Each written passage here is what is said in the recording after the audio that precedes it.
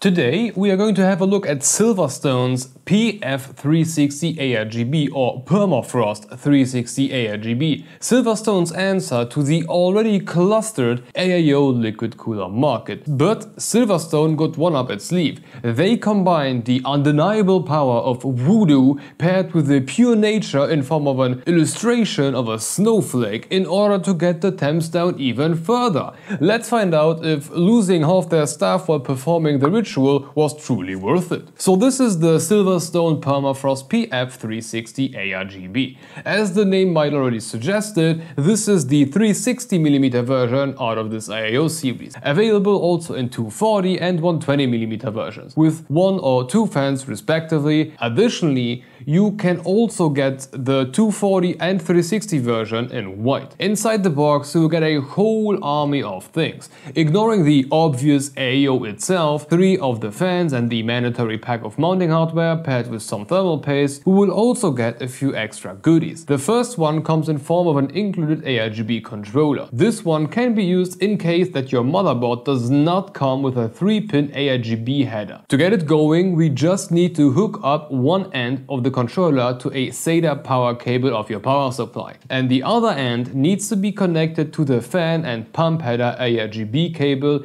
using that weird proprietary to not so proprietary port. Another cable inside the box will be this regular 3-pin ARGB to Gigabyte and ARGB adapter. By using that same proprietary to not so proprietary cable we used on the controller, we can use this thing to make the AIO compatible with older Gigabyte motherboard, which is not really necessary as they have already stepped down a long time ago and now everybody uses 3-pin ARGB. The last piece of extra weird cable would be this ancient Molex piece to fan header adapter. This can be used to hook up your pump directly to the power supply, making it spin at 100% all the time. Nice addition, but not very much necessary, or at least not as long as it is not SATA. Getting back to the AIO itself, we got support for quite a list of CPUs. LGA 1700, 1200, every 1150, 2011 and 2066 on Team Intel. Over on the red side, we got AM5, AM4 and so on until FL1. While we are at it, let's also quickly go over the installation mechanic. Installing the AIO on top of an AMD CPU does not require anything extra. We just need to take the water block and shove that AMD mounting bracket onto it with the ends pointing upwards. From there we need to take those hooks provided in the box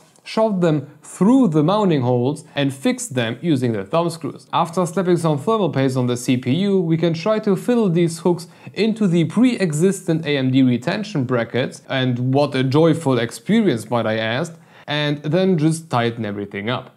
Over on Intel's side, it's a bit more complicated. Here we first need to take the Intel backplate and shove the Intel screws through the appropriate hole and fixate them with the plastic washer on the other side. If you're unsure which hole to use, just place the bracket behind your motherboard and just look through the holes. Once the backplate is positioned behind the motherboard, we can place the Intel space holders on top of the outsticking screws splash some thermal paste onto the CPU and prepare the water block by shoving the retention bracket with screw holes on each corner into it. Now just place it on top and screw each side down with the spring screw and voila, done. Just don't forget to hook up all of the RGB connections and fans too, those poor fellas need some power too. Speaking of which, let's go to the fans. For their Permafrost series, Silverstone includes a bunch of Air Blazer 120Rs. These are relatively fast spinning 120mm fans capable of keeping at up to 2200 RPM whilst pushing 93.97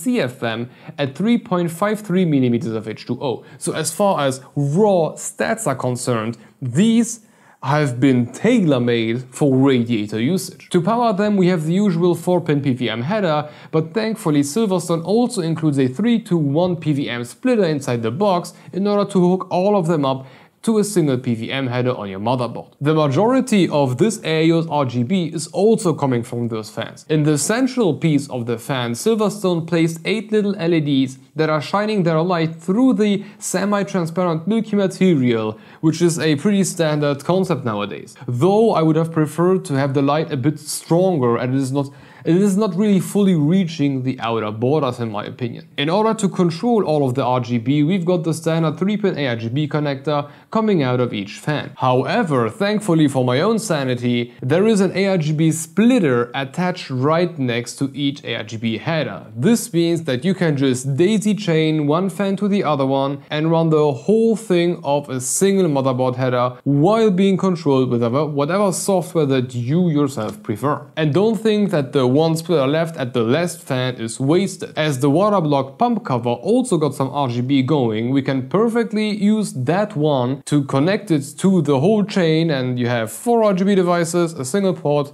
perfectly fine. Speaking of which, the water block pump combo is arguably the most beautiful thing about this AIO in my opinion. Although it is a completely personal thing that you need to decide for yourself, I absolutely fell in love how this looks and I believe the the cleanness of the Silverstone snowflake paired with those very edged borders around, it, it just looks amazing in my opinion. Underneath the whole thing, we will find a full copper base that looks appropriately sized for today's CPU sizes.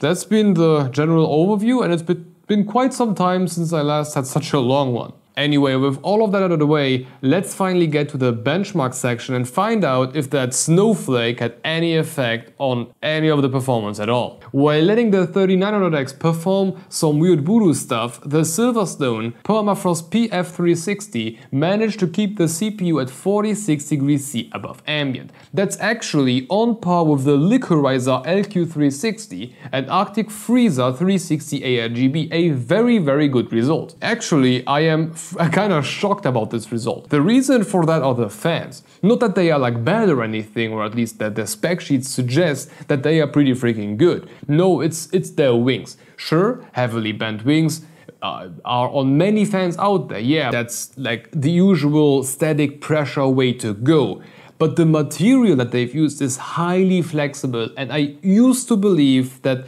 this softer wing material is will have a more negative impact on performance, especially on radiators. That's just what my experience showed me. But no, among the very best. I stand corrected. However, it is still possible that those air blazers are just you know, brute forcing their way up the ladder. And that's why we got the noise to performance graph. Here we were able to see something quite interesting. The permafrost is actually pretty much on par with a Xilence LiQuRizer LQ360 from start to finish. Those two are just battling their spot while outperforming pretty much everything we have ever tested and only being behind things like a silent loop or a non-RGB Arctic liquid freezer. So no, in the end, the permafrost did not brute force its way up the ladder and by that becoming some sort of a PC Kershaw equivalent. And as it turns out, the, the permafrost is performance and noise-wise pretty much equal to a LiQuRizer, which is a very respectable thing. So where does all of this leave us? Well, I'm a bit baffled, although the review started off with a quite odd feeling that the fans may, may end up being an issue, uh, but no, they were not. Um, Performance-wise, absolutely nothing to nag. And this also counts for the quality. Everything is nicely, sturdy, well made, except for the material of the wing, which is like highly bendable. But if you ignore that, or if you just don't touch the fan blade, which you should never do, it's still pretty much alright. The only thing that I would have preferred is uh, for tube length, we have 400 millimeters, and I believe 450 is more appropriate for like a 360 AIO, but that's like I mean, 400 is still okay. There are AOs out there with 350, so it's still okay. And a, and a very special type of side note, um, one thing that would I would have also preferred is to not have like a that highly reflective material on the water block. Uh, I swear, making B-rolls for, for this thing was so freaking hard it, it, wasn't even funny anymore. Like I had to to uh, switch the position of the camera so much around the whole table just to get like a, a shot without the light of, of, of the spots reflecting. It, it was horrible. So uh, yeah, but that's I, I think that's just like a B-roll thing.